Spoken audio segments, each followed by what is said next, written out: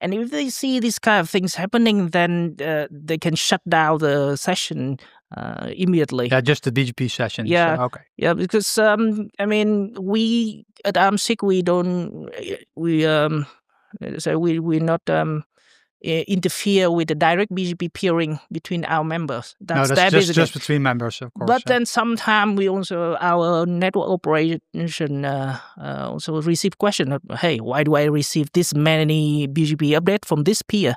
Mm -hmm. And we say that yeah, you need to contact them to see what is going on. We are not managing uh, them. Yeah, that, right. that might be good to uh, uh, put it into per perspective what AMS-IX is doing and what their members are doing. So AMS-IX is more the network connectivity, so layer two connectivity. Yeah, that's correct. And then the members they can exchange BGP information, and they need to yeah so make sure they are protected on the on the configuration level that they won't yeah, call uh, cause this eh, vortex.